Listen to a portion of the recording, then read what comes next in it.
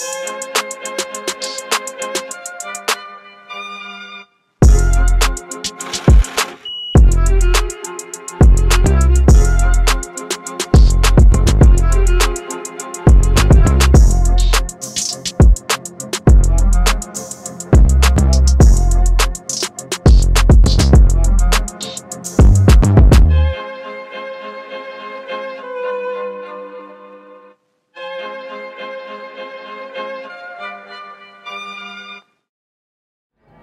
Hi guys, welcome to the show.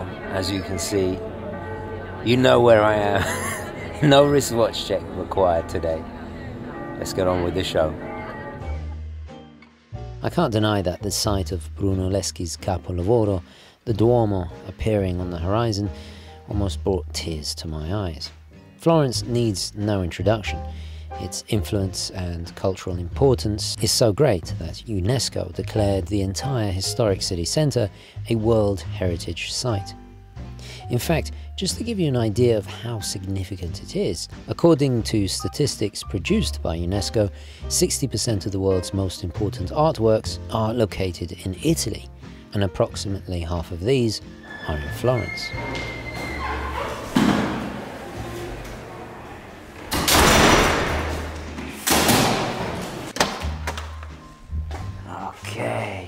Are, here we are. Home sweet home. Casa Dolce Casa. Immediately you walk in and what do you see? The church of San Lorenzo. It's so strange because we used to hang out on the steps on the other side, so I've never seen this part of the church. Then we step into this area and look, oh my God. I'm canceling my ticket. I'm not coming back. I'm sorry guys, there's no more urban gentry. is I'm staying here. Bye. You're supposed to sit here and watch that. but I don't know why you wasted time watching that rubbish. Well, unless you're watching this channel, obviously me and Hugo. But why would you watch that when you can look at this? This is the Medicean suite. Obviously, obviously. Right, let's have a, let's go in. The, the, the door's a little rickety and also it's very, very short. So, but have a look at this. Oh my God, look at the fresco. Imagine you wake up every morning and look at that with a chandelier and everything. But that's not the only thing. I have my own personal ensuite balcone. This little balcone qui. And look, have a little espresso, un uh, cornetto, you know, every morning. Church bells. And inside, I believe they have a Michelangelo, artworks by various artists, and then they do every hour. So that's the, the church bells all the way up there.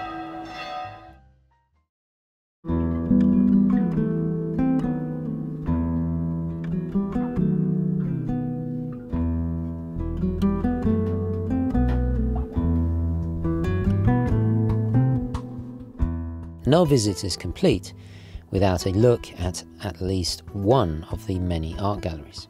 Top of the list for me is the iconic Uffizi, that houses some of the world's most famous works by Botticelli, Caravaggio, Michelangelo, Da Vinci, Tiziano, and countless others. To me, revisiting this place was profoundly moving and inspiring. My connection to this magical city runs very deep. While my own family are mainly from Rome, I lived here for several years to study just over 20 years ago, and it's where I met the love of my life, my soulmate, and the person I would eventually marry. So you can begin to understand why this inimitable place is even more special. Not just for Dante, Machiavelli, the Medicis, the birthplace of the Renaissance, and so much more. Obviously, I brought my own Panerai after converting to the Paneristi. I am now a full-blown Panerista. Because we're in Firenze, the birthplace of Panerai, I have been loaned very generously this Panerai Due. I just want to say a massive shout out and thanks to Shreve, Crump and Low who have loaned this in. Amazingly generous just to let me borrow a watch, fly across the world. I'm honored because they are actually the oldest uh, authorized dealer for many, many brands, but they're the oldest watch dealers in the United States. I'm gonna go to Boston, I'm gonna visit their store. They have an incredible store there and hopefully get to know them a bit more. Guys, have a look at their website and nominate which brands, everything you can imagine. Brands I'd never even thought, yes, even Richard Mille, uh, but brands, brands I even never thought I'd have access to. So have a look at their website let me know in the comments which uh, you'd like me to cover.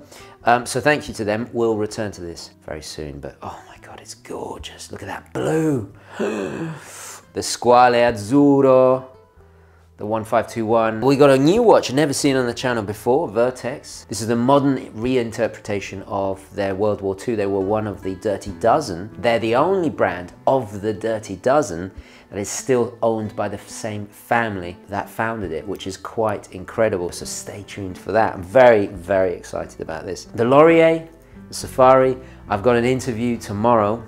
Fingers crossed, tocca palle for my Italian. Not, not the most refined way of uh, expression, but for my Italian gentry out there, you'll know what I mean. I got a, an interview with one of Italy's biggest watch collectors tomorrow, so I'm very, very excited. I didn't know what to wear, because what, what do you wear when you're interviewing the guy with the, the biggest, actually it's the biggest watch collection in the world. This is what you wear. You wear a watch that you co-designed with a brand close to your heart. This is actually the strap it came on so which is a uh, Riscandi Watch Club, the Melange. It's something that's very good in hot weather because it's breathable as well. So there was a lot of reasons. I think this pairing is just perfect. You know, it complements the green. Anyway, I've talked about this before. Uh, the Mission Impossible Casio, never leave home without it. The Tudor Sub, uh, this is actually also on a Riscandi Watch Club. I've just realized I've got two. Last, but by no means least, the Pepsi, my go-to travel watch. As I previously reviewed the Panerai Luminor Due, I will skip the typical specs, details on the automatic P900 caliber movement, etc., and get right to the nitty gritty and main point of discussion why it was made in the first place and why it has such a low water resistance of 30 meters. I was not a Panerista at the time, so my understanding of the brand lacked vital context. And while Panerai is undoubtedly a dive watch maker, the Due was never actually intended as one, but in fact a dress watch only. The Luminor Due's case is about 40% slimmer than the original Luminor.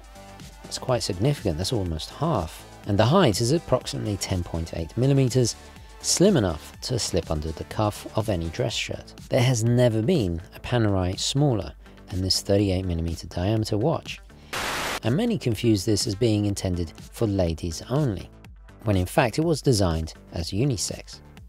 During my travels before I got to Florence, I showed the Due to a very experienced watchmaker friend of mine who has designed, produced and overseen the construction of many watches. He was able to confirm that the case, sapphire glass, case gaskets, case back, the iconic and instantly identifiable crown guard and lock were all made as thin or diminutive as possible to bring this overall height down, thus lowering the overall water resistance as a result deliberately.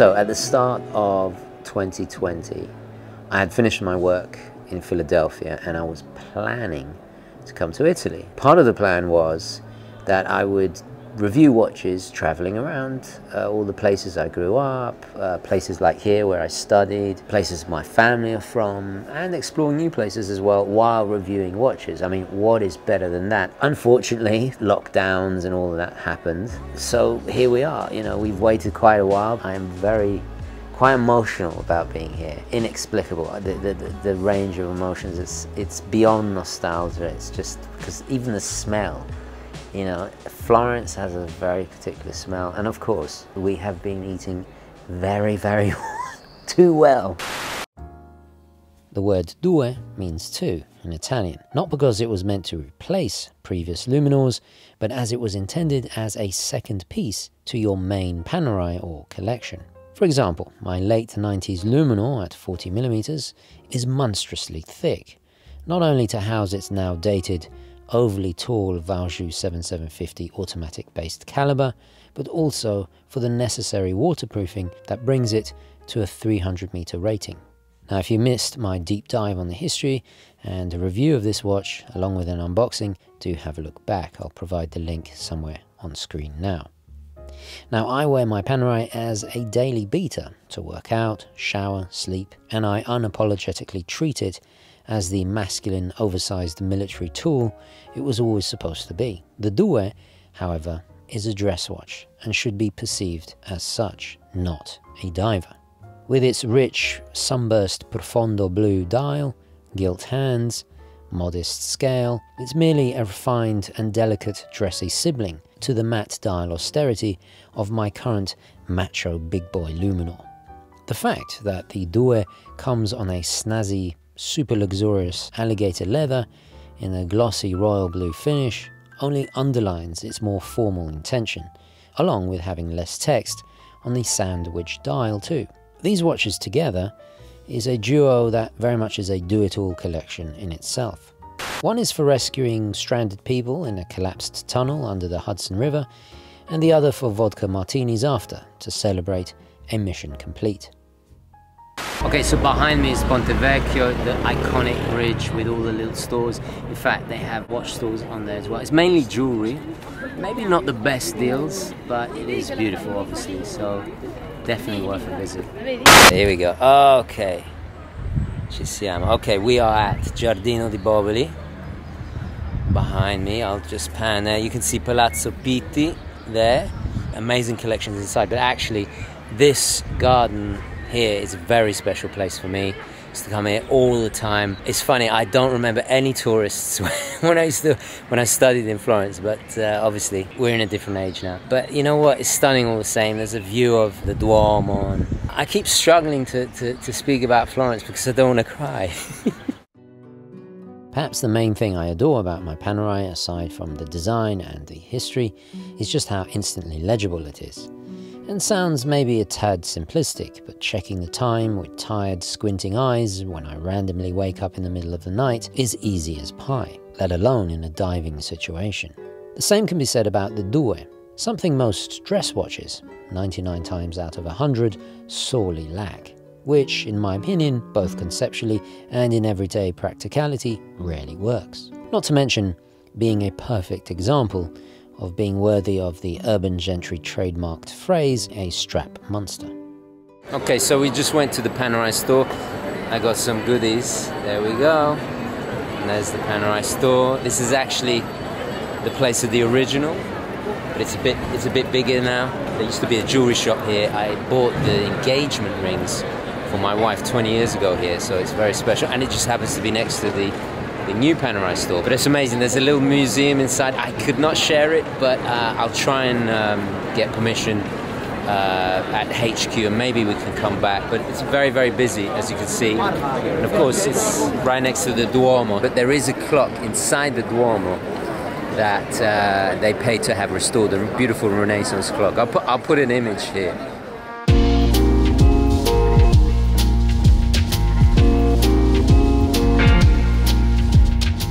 Earlier this year, Panerai released the new Radio Radiomir Quaranta, Quaranta meaning 40 in Italian, which obviously refers to its new smaller diameter.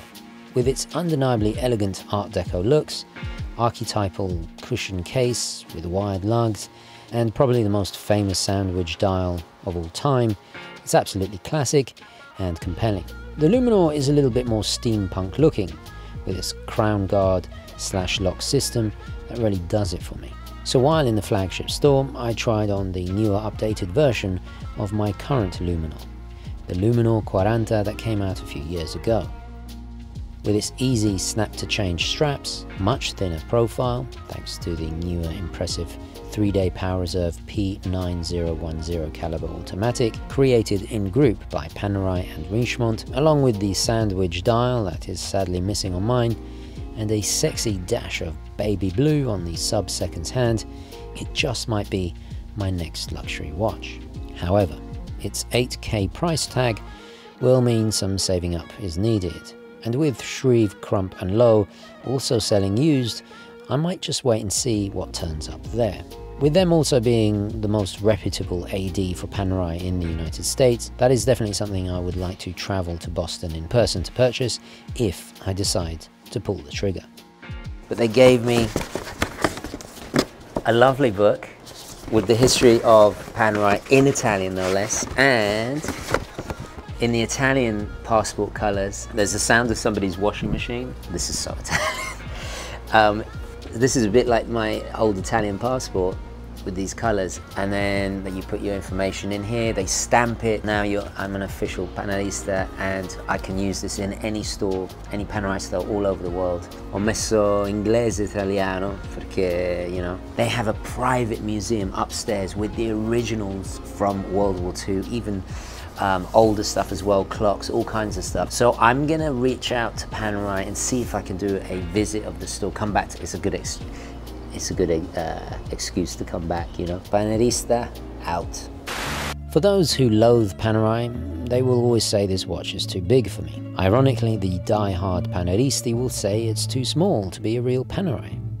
The skinny divers of the infamous Decima Flottiglia Mas, who were among the first to wear these in combat, wore the original gargantuan size of 47 millimeters.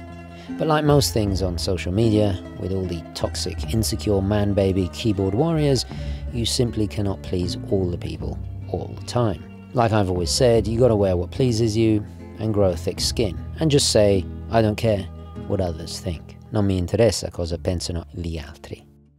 Uh, gear check. It's become something of a gentry tradition every time I do a travel video. Got some new additions, some classics like you know the Carl Friedrik Weekender, you know the backpack, I have added, to complement this style, this Hugo Boss crossbody bag, I think they call it. I'm sure a lot of you will say it's a purse, a man purse. I don't care. It's got Hugo. It's, they didn't put Hugo Boss, they just put Hugo, so I, it had to be done, right? It's nice. I just like the style of it. I have to be honest, the, the quality of the leather is nothing compared to the Italian Vacchetta leather that it's actually in the, uh, the carry-on here as well, which we'll talk about in a moment but that Carl Friedrik use, it's, it's nowhere near, even the zippers. But anyway, it has the same look. What else? There's a gimbal. I have been recording in a factory, uh, so we wanted to do things a little bit more professional. I can't swear on my channel, but it's rubbish, okay? Should we just say that?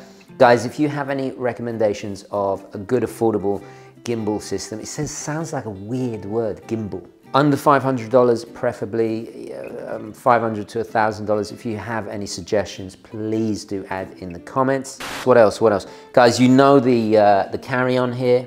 This is the carry-on from uh, Carl Friedrik. I want to say a few things that I haven't said in the previous videos. These wheels, these Hinomoto Japanese 360 wheels, when you're in an old city like Florence, paving stones all like this, they rarely take a beating and this thing has stood the test of Renaissance city very, very well. So I highly recommend it. Oh, and I noticed something else about the, the carry-on case. It was in the White Lotus, which was not a bad show. I love Michael uh, Imperioli, obviously from The Sopranos fame and all that. And it was also in Succession. I haven't seen that yet. Guys, is it any good? What is interesting about those two shows, it's about, you know, wealthy people. What I love about their bags, Carl Friedrik in general, you get that kind of luxurious, high quality look. It looks expensive. It looks quality, and they are. Kind of classic look, which is something I always love about Carl Friedrik. It hasn't got that tacky branding all over it. We've got this polycarbonate case, the aluminium zipperless, uh, zipperless, that's another weird word, Z zipperless, without a zip, basically, system there, which is really great. The, the locks, oh, we've covered the, um, the, uh, the USB, you can put a battery in it. So just great, just all round fantastic. What else? And we got a new 11 millimeter wide lens. You'll notice some of the shots. It's fantastic for capturing buildings and architecture, landscapes, that kind of stuff. For example, if I had this lens on that camera, you'd probably see half the room and a little bit of the fresco as well. Fairly affordable. I, I think it was under 500 bucks by Sony. Pretty much all my cameras are Sony. I'm still using the A400 just really like sturdy cameras. I have three of these now. My only critique is the batteries don't last that long, but I highly recommend if you use this camera, buy a whole bunch. There's always a balance between quality, functionality, style in the case of luggage and clothes, sometimes heritage, you know, certain brands have heritage, a story that's important. So I always look out for these kind of things. So the gimbal fails pretty much on every single one of those boxes. So you're not going in a store. I'm sorry, gimbal. I'm talking to a gimbal. Well, actually, I was swearing at it the other day. So uh, there we go. Carl Friedrik, if you're listening, please make one of these. Make a camera case or a crossbody bag. I'll be the first person to buy it. An extra gear check item I forgot to mention is a new generation of Belstaff wax jacket. Any fashionista worth their salt will tell you that Belstaff is famous for their Trialmaster racing jackets.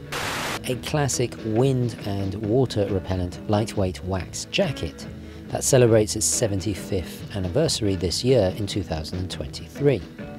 In recent years, it saw something of a comeback, being the choice of Jack Bauer in 24, Live Another Day.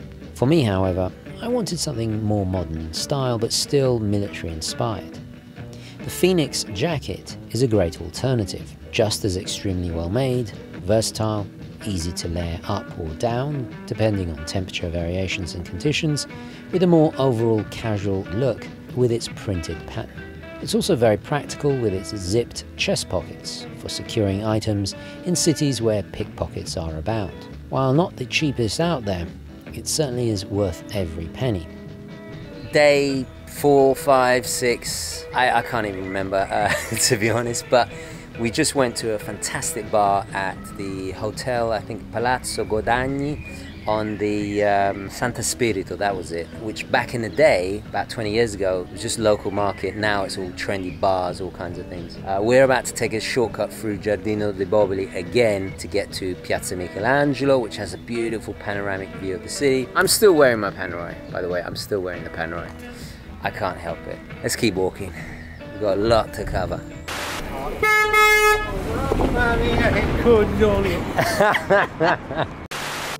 So in terms of food, we mainly stuck to old favourite haunts. Amazingly, Trattoria Zaza was still there, a place we used to frequent all the time, and they have all the traditional Florentine classics you could ever wish for, bistecca and so on. Just make sure you book well in advance because the queues can go around the entire block. It's also a stone's throw from San Lorenzo and I highly recommend it. As is the famous Mercato Centrale, which is great for all types of fast and easy snacking. 20 years ago, I did my daily food shop there, but now it's become a hub of trendy restaurants in a very hectic new food hall. It also happens to be near my old school, which was a blast down memory lane to pass by.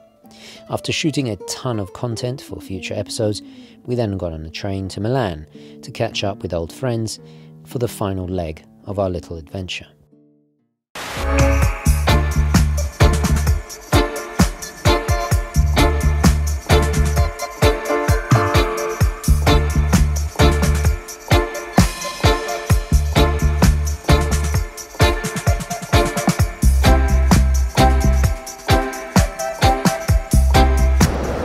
Okay, we are in Milan and this station is absolutely incredible.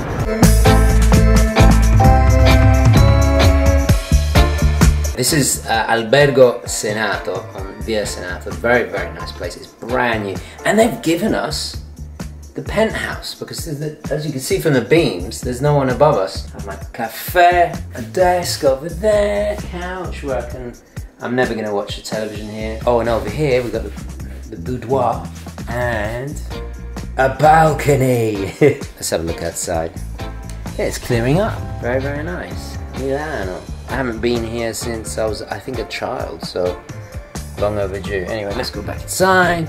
I can sip martinis in the bathtub and look at the tree. I've got another tree over here. So far, absolutely stunning. There's a beautiful courtyard. I'll show you guys later.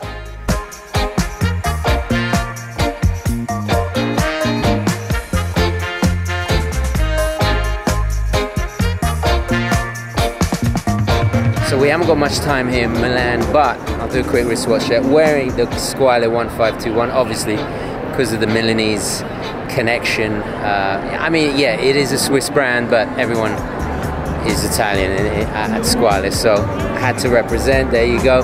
And uh, the collar strap is actually matching my chukka boots. Anyway, it is beautiful, stunning. Too many people though, too many people.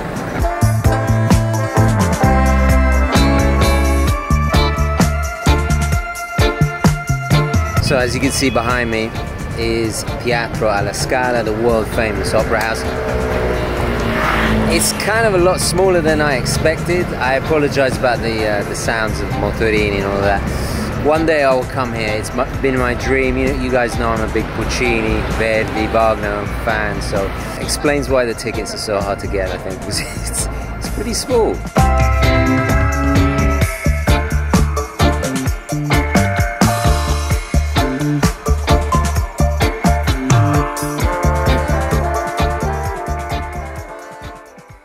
Life often has poetic twists of fate and a tendency to always go full circle. Visiting the store, or site I should say, where I first purchased my engagement ring for the love of my life, in the city where we first met over 20 years ago, along with returning with a watch on my wrist from the very brand founded there, feels, well, quite honestly, like it was destined to be.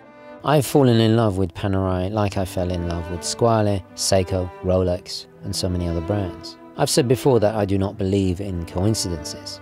One of my heroes, Marcus Aurelius, once wrote, Accept the things which fate binds you, and love the people with whom fate brings you together, but do so with all your heart. Okay, so the sun has just risen. Forgive the chiaroscuro Caravaggio uh, effect here, but the Pepsi's back on the wrist. That means I'm about to catch a plane. Been up since three, so I'm a little bit tired. Forgive the appearance. I will be back. We'll do it even bigger and better next time. So much to do and see here, especially watch related. So yeah, I will see you all back in Philadelphia. Onwards and upwards, thank you for watching. Please don't forget to like this video, especially if you want to see more free and independent content like this. Thank you for watching.